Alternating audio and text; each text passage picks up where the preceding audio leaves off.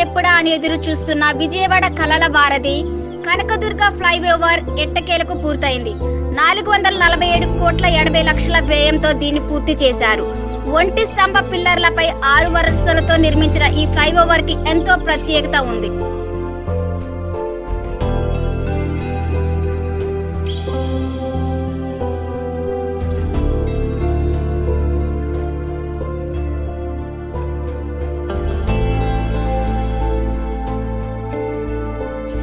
science wings టెక్నాలజీతో రూపొందించిన వంతెనలో దేశంలోనే కనకదుర్గ ఫ్లైఓవర్ మూడవది వచ్చే నెల నాలుగో తేదీన ప్రారంభానికి ఫ్లైఓవర్ ముస్తాబైంది